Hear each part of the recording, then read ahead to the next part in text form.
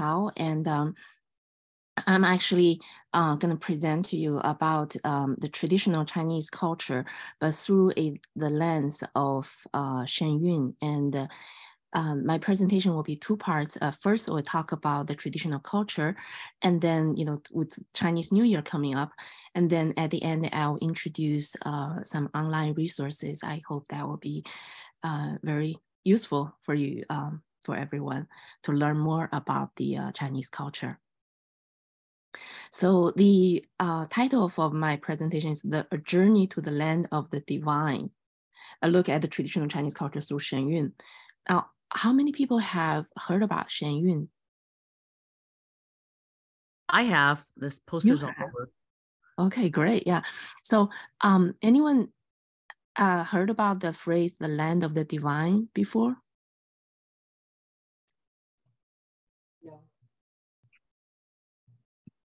It's actually this phrase is directly a translation from um, Chinese, where one of the ways uh, Chinese people call the land of China. Um, it's in a term from the ancient times. In Chinese, it's called Shenzhou. Um, the term comes, uh, it, it's called this way because um, the Chinese people believed that the culture has been bestowed by the divine from a time frame like 5,000 years ago. And at that time, the deities and the immortals coexisted on earth um, in the land of China today. And the deities taught the people uh, in China how to live according to the heaven's way. And that includes um, how to, uh, like from the, the kings, how they rule the land, and in daily lives, how they uh, carry on the daily activities. So uh, we know that China is one of the uh, one of the most ancient civilizations on Earth. It's not the longest necessarily, but it is unique in the sense that it has a non-stopped, uh, has a continuous record of written history um, for about 5,000 years uh, the earliest book we find today um, are from like 3,000 years ago, but the historians back then had access to more uh, books that we don't find today, but they recorded from even um, longer period. And so with that, and throughout the dynasties, there has been numerous number of uh, cultural relics and national records and uh, uh, just literatures and uh, legends. It's a, a vast, uh, immense cultural heritage for all of us to enjoy. So now what comes to your mind when we talk about Chinese culture? Anybody? Well, when I think about Chinese culture, I think about Chinese New Year, and as a little kid, we always get these uh, hongbao, the red mm-hmm. envelopes, and I the think also think about respecting parents, filial piety. Those are things that come up, and of course, great Chinese food. right, yeah, trans- yeah. I think a lot of people may be muted on the presentation, so I came up with uh, these ones. Um, so, art can you see my cursor? Oh, my cursor doesn't work on here. So for example, the um, on the uh, left of your screen, you see this Chinese painting.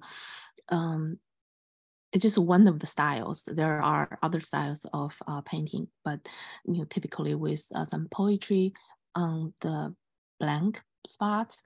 And in this particular one, just black and white ink. And yet um, we feel, you know, not necessarily missing the color you know, it's a it's a different um, style, emphasize on the on the uh, subtlety of the landscape there.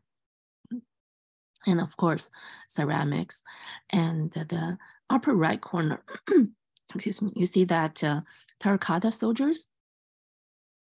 That's um, unearthed from uh, the tomb of the first emperor of the Qin dynasty from about 2000 years ago. There were actually um, 8,000 of them, each with a distinct facial expression, and they're like six feet tall, you know. Um, it's amazing uh, masterpieces.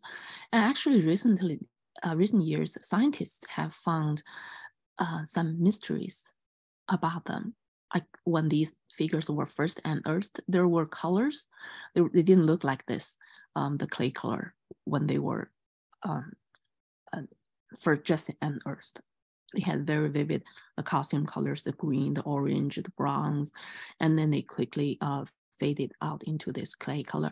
But in those uh, pigments of those dyes to their to their outfit, uh, when they were first unearthed, um, scientists found something very, very advanced related to today's most advanced technology about superconductivity.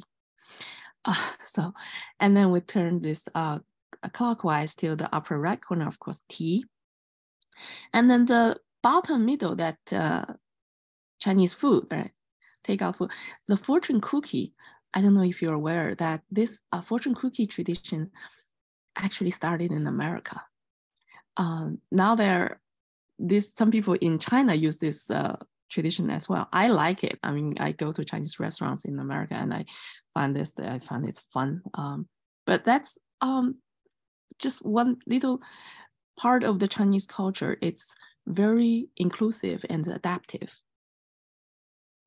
Uh, in fact, uh, throughout history, there have been inputs from surrounding areas, different ethnic groups, different cultures brought their um, excellent, you know, uh, elements into the Chinese culture, and so Chinese culture is um, multivariate, yeah, very inclusive one, and um, many people say that they they feel close, they feel like maybe they were past life in a Chinese or some something, so it it is um, no surprise.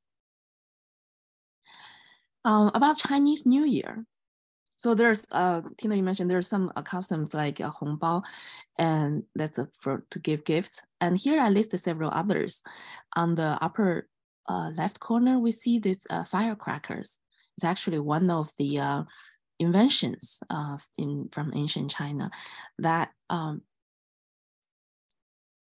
we know we now have firecrackers here too, right? It, the idea was to uh, on the Chinese New Year's Eve, and people uh, have these firecrackers. And later on, are fancy versions of fireworks, but firecrackers just for the sound of it, and to uh, blow away the anything bad luck like lingering around from the past year. So welcome a new year. Um, and then the upper right corner, the lion dances.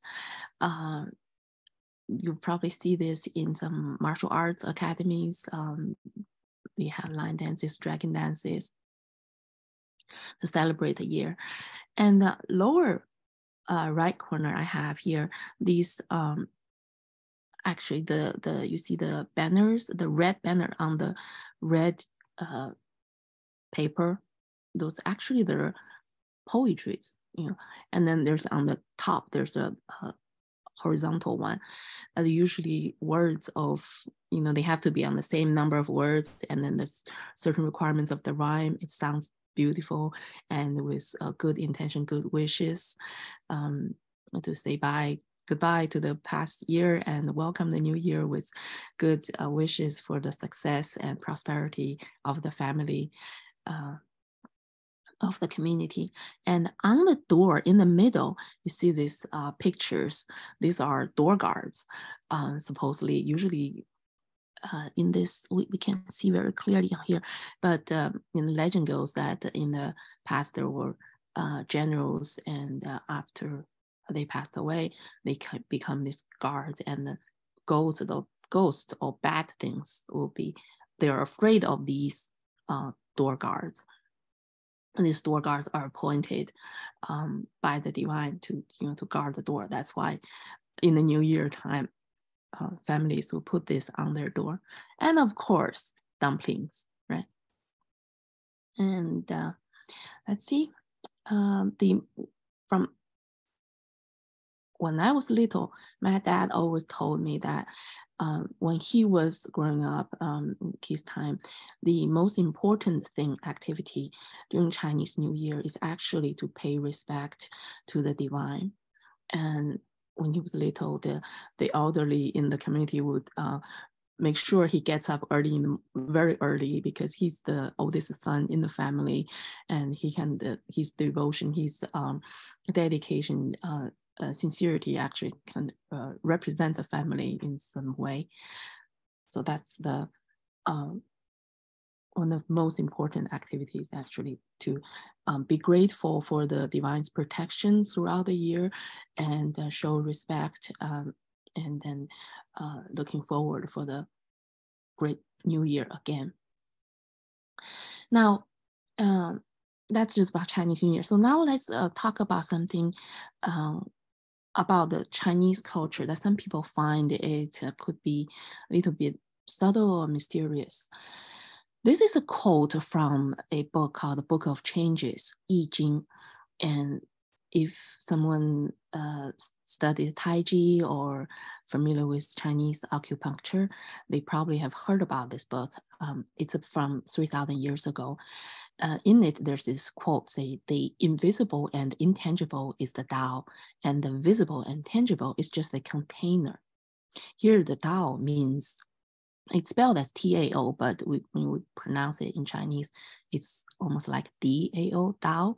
Um, that's sometimes you see it written as Dao um, in some other context. It's a, a, just a different ways of romanization, the Chinese character. But the Dao here means the way, uh, the path, the truth, the method, uh, the real thing, the essence, so here is the invisible and intangible is the Tao, is the essence, right? And the visible and tangible is just the container, that the box, that's the box that contains the in essence. So in a way, we think of this, um, no matter how beautiful, how fancy the container, the box is, it is still what's in the box that matters more, right? Um, actually, this is not just unique idea to the Eastern culture, the Chinese culture. Um, in the West, uh, Plato had a quote saying, uh, like, what we perceive is just a shadow on the wall. Uh, what it's a shadow on the wall, right? So what made the shadow, that's the real thing. But what we see, it's just the shadow itself. Okay, so the rest excuse me, of the first part of the presentation, I'll talk more on the essence of the, the you know, the Tao, the, what's really in the box of the culture and the destruction and then the revival. Um,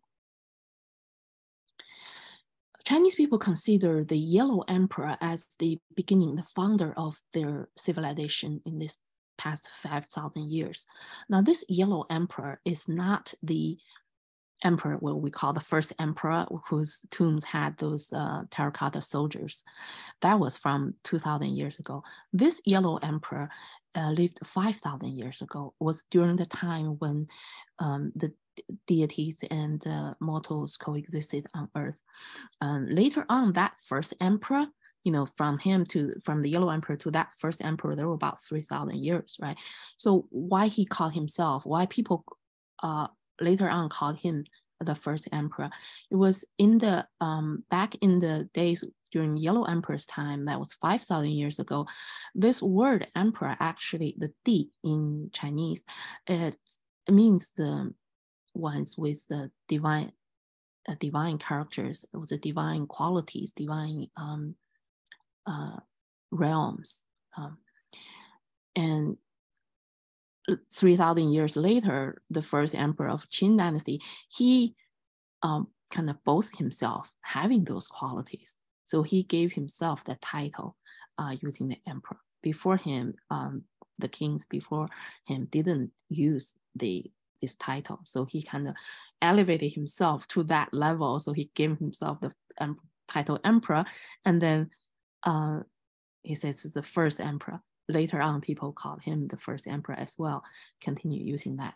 So now let's back to this uh, great yellow emperor who is considered the beginning, the founder of the Chinese civilization. Uh, he actually is a, he studied the Tao, Taoist cultivator uh, from a Guangchengzi, a deity. And let's see my screen here. And he's uh,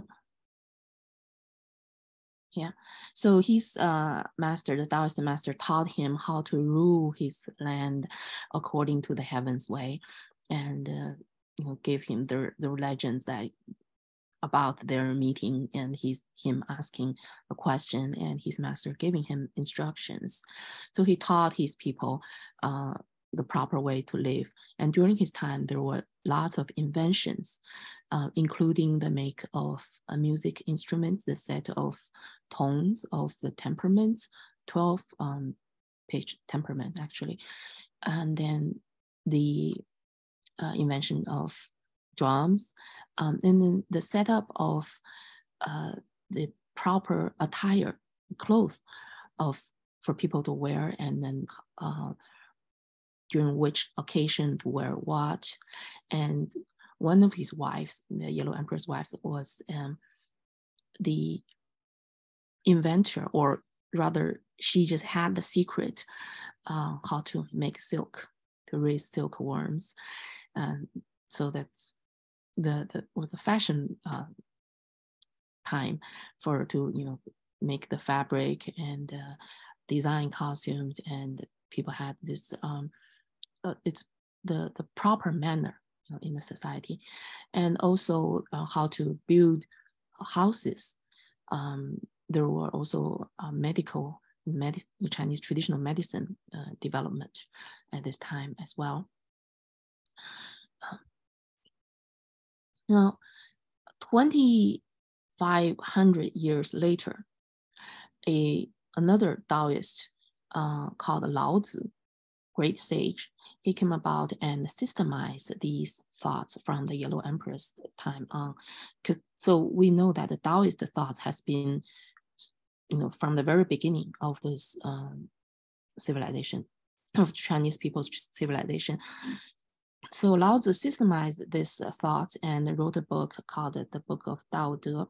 Uh, Taoism is formed, and in it he focused on the truth, you know, trying to expand the mysterious way of the universe. Um, but the Taoist uh, Taoism thoughts focused on truth. Around the same time, oh, let me minimize this screen so they can see more screen. Do I minimize this sidebar? Can you see the full picture of the of uh, on yeah, the right? we can see the full picture. Oh, you can see the full picture. Okay, of the okay. Uh, on my screen, it's a um, sidebar blocking it.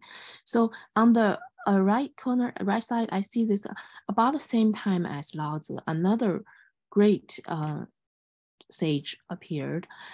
I I'm gonna let you guess his name. He's considered the teacher of all teachers. And his thoughts has been the foundation for the Chinese society following him for more than a thousand years to select uh, officials, select uh, civil officials, and has been uh, a very important component of the Chinese culture in the Chinese thoughts. Anyone can guess his name?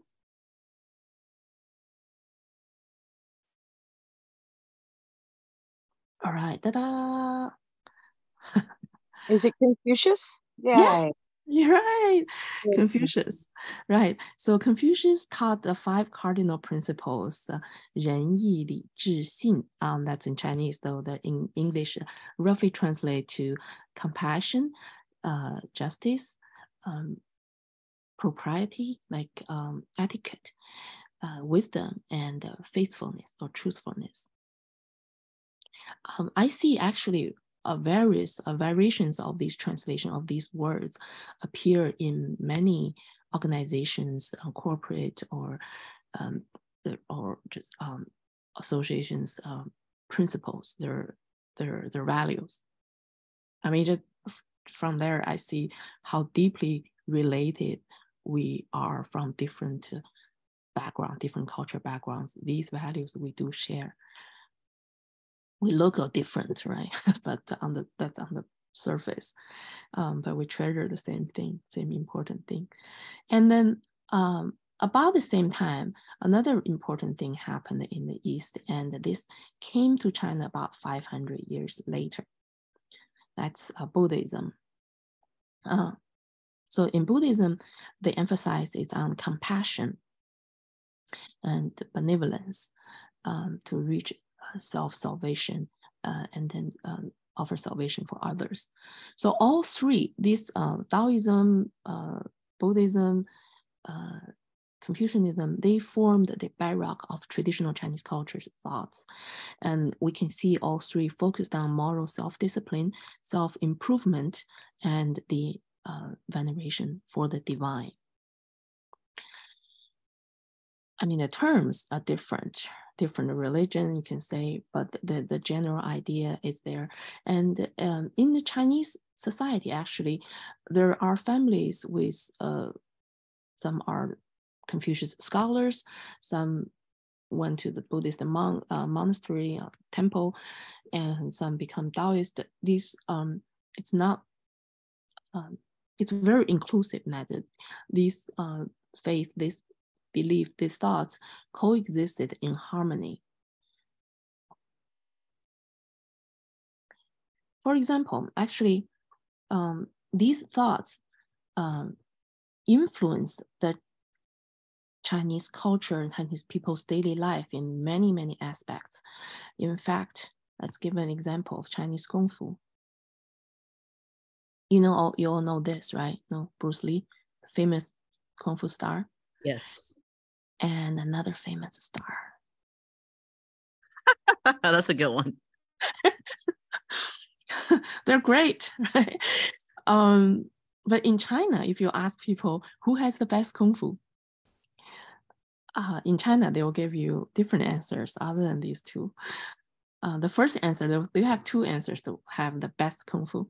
The first one is uh, Shaolin, Shaolin monks.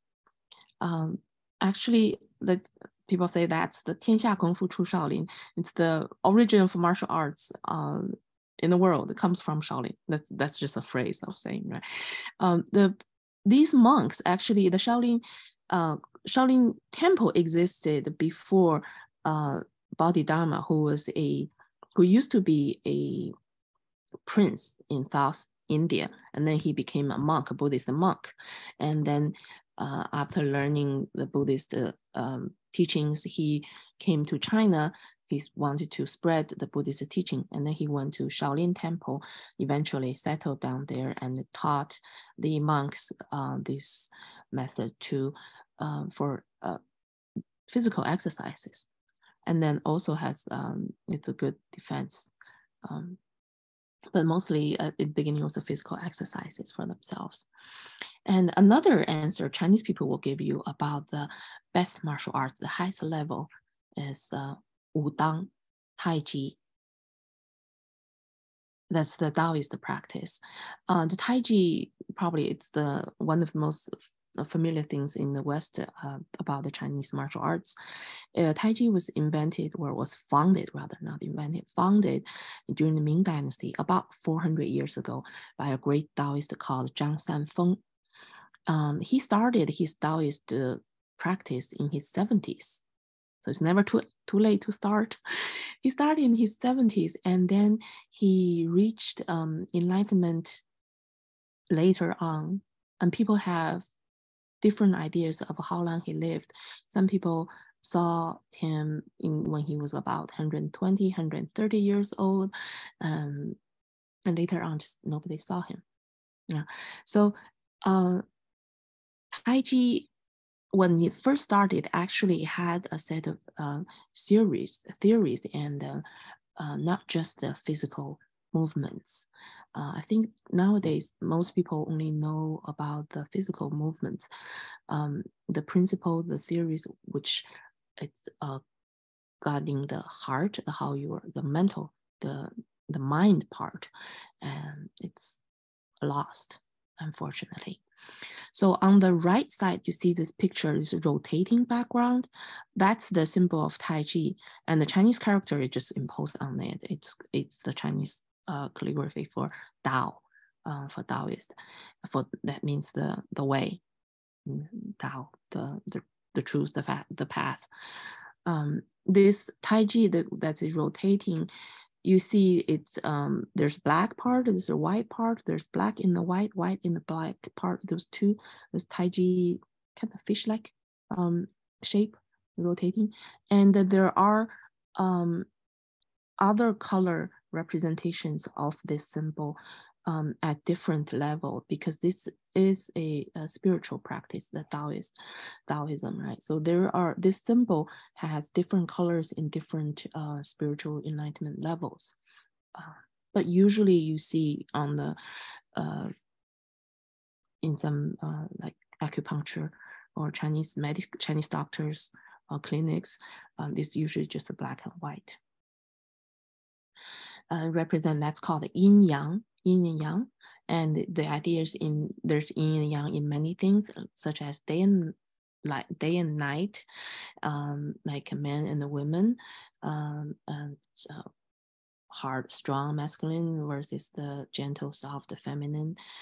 Um, yeah, the balance of it and the combination of it that's important for how things should, for how things will develop and uh, sustain.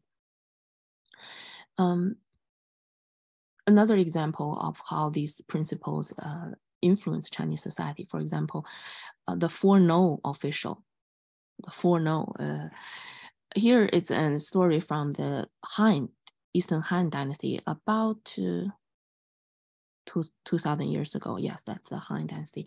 Uh, a famous scholar called Yang Zhen, he was a higher uh, rank official in the military as well. And one night he was visited by one of his student and subordinate, and they chatted, chatted until it was late in the night. And student brought out some gold on the table and said, uh, "Oh, my great master, please accept my, uh, you know, uh, a gift."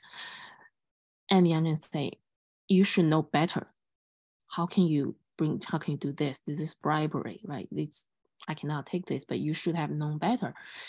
And this student said oh but you know it's so late and uh, nobody around nobody could see us. Uh, it just please take it. Don't worry. And Yang Zhen said what do you mean nobody sees? Nobody knows. You know i know Heaven knows, the God knows. So his student took the lesson and felt embarrassed, and uh, you know that's um, that's his lesson from his uh, mentor, from his master. Um, so that they left the legend a four no official, the you know, I know, heaven knows, God knows. Um, in, even today in Taiwan, I heard there's uh, bookstores, they call the four no bookstores, and the uh, there's pharmacy, uh, they name themselves four no pharmacy, just um, showing their determination to be honest, um, even when they're alone, even when they see there's nobody around watching, they know that they're being watched. So that's they would um, uh, guard themselves to to behave properly, you know, instead of falling into some temptations. So that's just an idea, uh, another story. And in fact, throughout Chinese history, these uh, thoughts from the teachings from Buddhism, Taoism, Confucianism has been the guidance um, for every uh, type of human activity at their highest level. For example, martial arts, which has said Chinese medicine, architecture, uh, how to rule a country, how to build a city, um, culinary arts, military tactics, and yeah. Um, I don't know if you just noticed one thing. Um, when we talk about martial arts, the highest level of martial arts were either from the Buddhist monks or Taoist cultivators. Don't you think that these people should be, you know, peacefully meditating instead of having the best kind of martial arts? Um, that's another story. In fact, the Chinese character for martial arts it can be taken into two parts. It literally means stop the weapon, stop the fighting. So the highest level um, of uh, of war is to um, let the uh, invader retreat without fighting, to stop the fighting, stop the the you know the the conflict.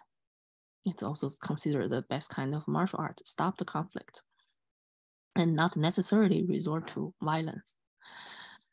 Um, and but all of this kind of tradition actually came to a sudden stop in China about you know what, how long was that? 37 years ago? From 1949 you all know what happened in 1949 right? Anyone? Yeah communists came yeah very unfortunate. Chinese um, communism uh, took over China. Um, so you know before to follow those traditional teachings people would do meditation in the morning or adjust their mind before they carry on any activities even for a carpenter or for a scholar for a painter artist right but um, since 49 when the communists took over um, they forced everyone to give up these traditions. The reason being that communism, in its core, it's um, atheism, and it wouldn't have been too much of trouble if they just themselves believe in atheism. Um, they force everyone else to believe in atheism. So that means they started a massive, um, one after another, not just once, massive destruction of anything related to the Chinese tradition. Um, that being, for example, here on the left corner, these pictures are taken during the Cultural Revolution um, which happened in 1966 to 1976. Uh, but there, that was just one period. There were other times um, as well throughout the past 70, seven decades. Uh, on the left, lower left corner, these were Buddhist, pile of Buddhist uh, sculptures being burned. And there were people were just on the back, look, and we don't know how they feel, how they felt, what they were thinking. On the right side, you see this um, this uh, tablet. It was a tablet from the uh, Confucius homestead. It, it was there for 2,000 years. And there were people pulling, trying to pull it down with the ropes, people line up. It's like a tug of war kind of thing, and pulling it down. Now that, what happens when these visible and tangible things were destroyed? What happened to the invisible and intangible? When people had fear, know, in face of this visible, tangible violence, this threat. And what's hurt, what's really got hurt is the, the in their mind, their tradition, um, and their faith, um, and the willingness to share, to pass down that tradition. In the past, when people, many people didn't know how to read, they're illiterate, but they know stories from the past. They could sing, um, they heard songs, uh, they tell stories to their uh, children. Um, kids learn stories from their grandparents. You know, it's the, the, the values passed down that way. But when communists took over, in my own family's case, for example, when I was young, um, my family actually, uh, my parents restrained themselves from telling me more because there was danger when the little kid uh, just slipped something um, in the kindergarten, in grade school, um, the whole family could be in trouble. Uh, I almost got um, the whole family into trouble once, and uh, luckily the my uh, kindergarten teacher was friendly. She just tried to basically tried to make me aware. Uh, don't say that kind of thing again. But that's kind of that, that kind of restriction on people's mind, and also restriction on um, the old from the older generation to pass down the essence of culture to the younger generation.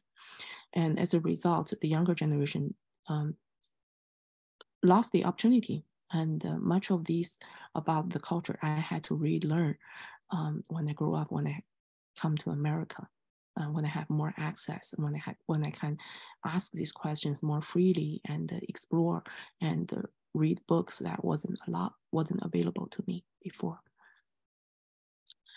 Um, so some people say, oh, but that was from Cultural Revolution, right? 50 years ago. Uh, it's no longer like that now. Well, um, I'm just going to be brief. The culture's shell versus substance. This was the, the Confucius um, homestead tablet. Luckily, this piece was just broken into half and then they glued it with cement. Uh, but many other pieces were smashed into you know, beyond repair. But when this thing was restored, did the invisible and intangible part get restored as well? Sadly, no, because the Communist Party, first of all, they're unwilling to because that's their core. I mean, to restore these uh, traditional faith, the values, um, in, which implies the divine, which people believe their culture was bestowed from the divine, and you know, just the fact of so much um, inventions, so many inventions during uh, Yellow Emperor's time. Um, it's not just some people from like cavemen um, figuring out things, right? There was a big uh, uh, explosive rapid development culture-wise uh, during that time to allow people to stay in touch with that tradition. It's the um, it's a threat to them, to the communism. They consider that way. Um, and so it, they not only smashed the antiques, burned the books, they also jail the scholars, heavily punished um, anyone who was trained in the old way, um, being the scholars, the old style martial artists, the old style medical doctors. Uh, and then they released them from jail after they were told so uh, suffered so much and had the fear in their mind, worried about the survival, safety of their family members. So, and then they are they with this, they themselves, even the people in power, they don't know the essence of the Chinese culture anymore. So they're unwilling to and unable to restore the essence. And with that comes with the, the total um, destruction of the moral fabric. You remember, remember that the, the traditional values emphasized on moral self-discipline, self-improvement. So we see a lot of things, um, unfortunate cases of, um, you know, fake product, poisonous, harmful things. Um, and then with the globalization, it even comes to America. I mean, it's the Chinese people there suffer the most, right? With such a destruction, um, what can you do? How can you solve that problem? Luckily, a group of artists came up with their solution. Um, in 2006, they gathered in New York and created a company, formed a company called Shenyun. And through their art performance, they try to uh, bring back these old values from um, the traditional culture. So nowadays you see the Shenyun's posters see China before communism. That's what they try to bring back. And uh, just storytelling through dance, um, music, live orchestra, a classical Chinese dance is the hallmark. And I'll just be very brief to this. And um, um, it's related to martial arts, some of the the the, the postures, the, the, the movements. Um, and the gymnastics um, borrowed a lot of the uh, movements from the trainings from the cl classical Chinese dance.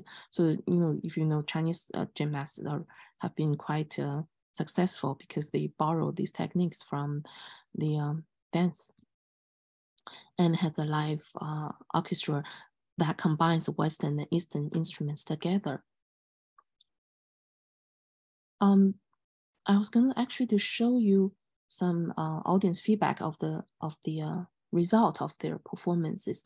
Uh, Shenyun has been doing for 16 years. They've been traveling all over the world, and um, all major cities in North America, Europe, Australia, uh, they're just not allowed in China now, unfortunately.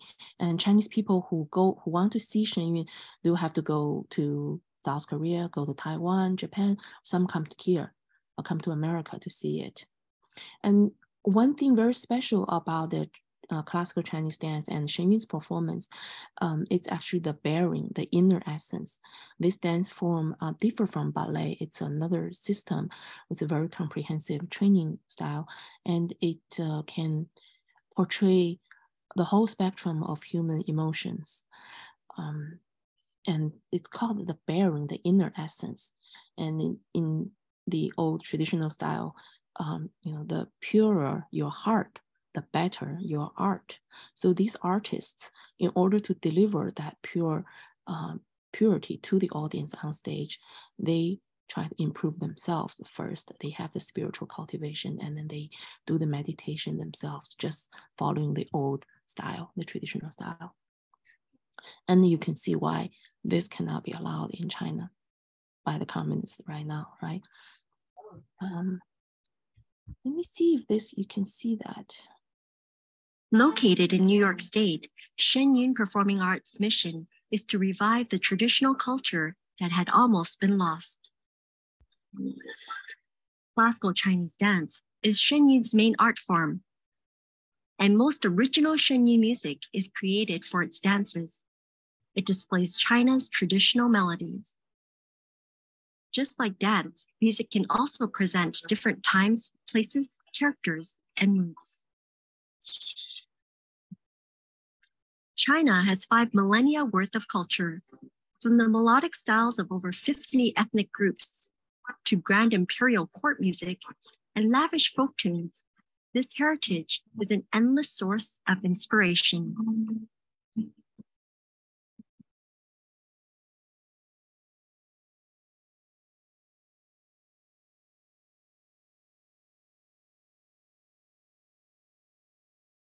The music also embodies this. We have to mm-hmm. get the form of the music right. For mm-hmm. example, the ladies of the Tang court were very elegant. During the Qing dynasty, the princesses had this noble air. The male dances are masculine and vigorous. Like the Tang imperial drummers, it's all drums and brass.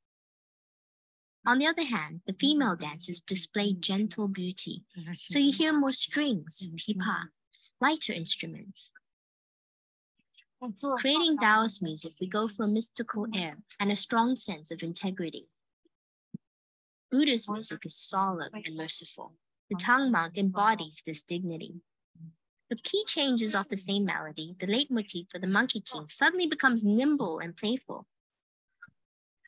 As for Pigsy, the trombone at the bottom accentuates his clumsiness, and the suona on top gives you this very comical feeling. And in each corner of China, you find different customs and styles. Northeastern music, for example, tends to favor the suona.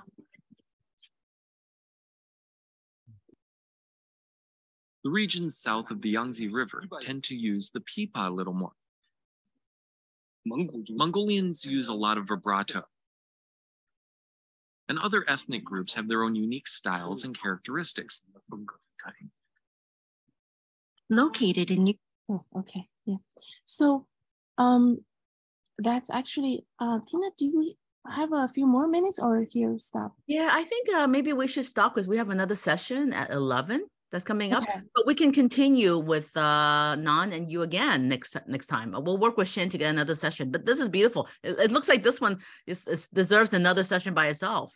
So beautiful. right, yeah, yeah. Actually, um, so before I would just want to add one more minute, uh, one minute uh, here. I want to share in the chat, uh, because uh, I know Shenyun just finished in the Bay Area. Um, if you want to learn more about this, this is a great resource. Uh, you can go on shenyun.org uh, to learn more about it.